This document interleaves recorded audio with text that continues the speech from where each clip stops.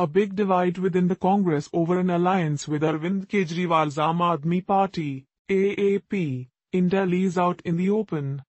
Delhi Congress chief Sheila Dikshit is dead against the idea, but told NDTV on Tuesday that she would abide by the party's decision. Sources say other Delhi Congress leaders are pushing for it and have written to party chief Rahul Gandhi.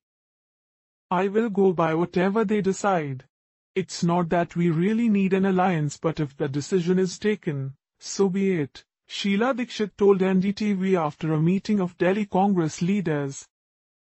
Sheila Dikshit, a three-time chief minister whose term ended with the AAP's stunning rise in Delhi, has warned in a letter to Rahul Gandhi and his mother Sonia Gandhi that an alliance with Arvind Kejriwal's party would hurt the Congress in the long run. I believe that the Congress is capable of doing everything itself.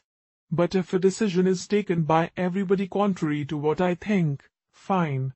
I do believe in the strength and capacity of the Congress party, said the 80-year-old, who became the party's Delhi chief in January. Sheila Dikshit maintained that Arvind Kejriwal had not approached her. Reports suggest that the Congress is upset with AAP offering only one of Delhi's seven seats in a tie-up. The Congress wants three. The Congress worker today is charged up, very active. I'm sure things will improve a lot. The Congress was in power for three consecutive terms.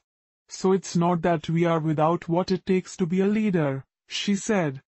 While Sheila Dikshit has strongly opposed joining hands with AAP, a senior Congress leader in charge of Delhi, PC Chacko, made it clear on Tuesday that Delhi leaders have to follow the Congress's policy decision to go for alliances with parties opposed to the BJP. In attempts to forge a tie-up between AAP and the Congress, Maharashtra politician Sharad Pawar has stepped in as mediator. Mr. Pawar, the chief of the Nationalist Congress Party, NCP, separately met with Congress leaders and AAP's Sanjay Singh. He is also expected to meet Rahul Gandhi, who will take a final decision. Mr. Pawar had last month hosted a mega opposition meeting that brought together Rahul Gandhi, Arvind Kejriwal, and Mamta Banerjee. Soon after the meeting, Arvind Kejriwal had declared that the Congress had rejected an alliance and he was fed up of trying to convince the party. However, after the Pulwama terror attack and its fallout, the Congress reportedly had fresh discussions over the alliance as the opposition reassessed its strategy to take on the ruling BJP. An internal survey of the Congress reportedly showed the BJP ahead of both AAP and Congress with 35% of the vote share in the capital.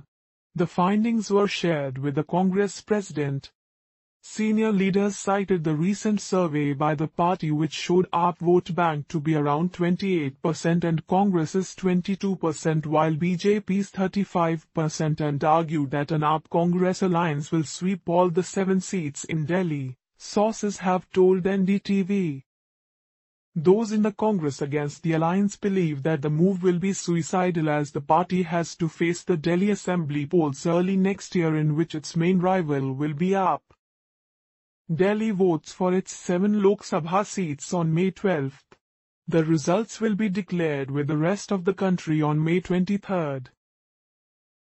Get the latest election news, live updates and election schedule for Lok Sabha elections 2019 on ndtv.com/elections. Like us on Facebook or follow us on Twitter and Instagram for updates from each of the 543 parliamentary seats for the 2019 Indian general elections.